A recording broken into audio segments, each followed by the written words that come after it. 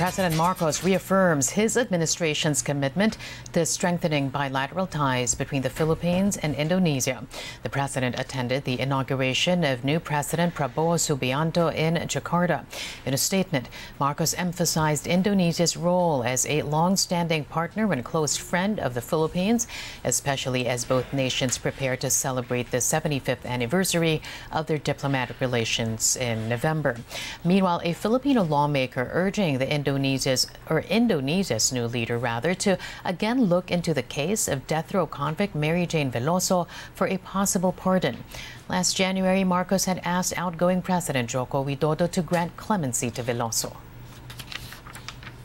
Sana po ay mapakinggan ninyo, malaman nyo naman po sana on the other side kung ano po ba talaga ang dahilan, ano po tunay na pangyayari, ano po yung true facts tungkol po dito kay Mary Jane. Sana naman po bigyan, mabigyan ng panibagong buhay, bagong pag-asa si Mary Jane. Several groups held a demonstration outside the Agriculture Department's main office in Quezon City, calling for an end to dependency on imported food products. Jervis Manahan now joins us with an update. Jervis, over to you. Yes, Carmina, hundreds of Filipinos marched today from the National Housing Authority to the Office of the Department of Agriculture to push for climate resilient and sustainable local food production systems. They said this is an Asia-wide uh, protest that are calling for adequate and affordable food for all. Groups also slammed the alleged import-dependent policies of the Department of Agriculture. Senatorial aspirant Luke Espiritu of the Bukluran of the ng mga manggagawang Pilipino said they are drawing attention to climate emergency because global warming affects our capacity to produce food for the people. He also said that our government must protect our food sovereignty. Meanwhile, uh, Leody de Guzman said uh, that the Filipinos continue to bear the brunt of high food prices and that the problem might worsen because of global warming. The group said the Department of Agriculture must instead focus on ensuring food production can withstand storms and other weather phenomena such as drought. The groups ended, ended their protest peacefully before noon. Carmina.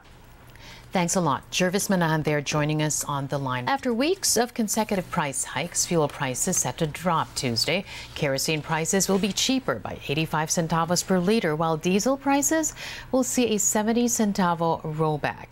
Gasoline prices also going down by 50 centavos. The Energy Department attributed the dip to a slight easing of tensions in the Middle East. More than 400 passengers stranded in Tabaco Albay due to tropical depression Kristine. Our very own Irene Pirol on the line now with that story. Irene, over to you. Carmina, more than 400 passengers bound for Catanduanes are stranded in Tabaco City as of 8 o'clock this morning. This after sea travel from Albay to Catanduanes was suspended today due to Typhoon Kristine. Typhoon signal number one is hoisted now over the six provinces of the region. According to Philippine Coast Guard Bicol, 447 passengers and 60 rolling cargoes bound for Catanduanes are currently stranded in Tabaco City Port in Albay Province. Coast Guard Bicol has also issued a sea travel advisory suspending trips of smaller sea vessels within the sea waters of Camarines Norte.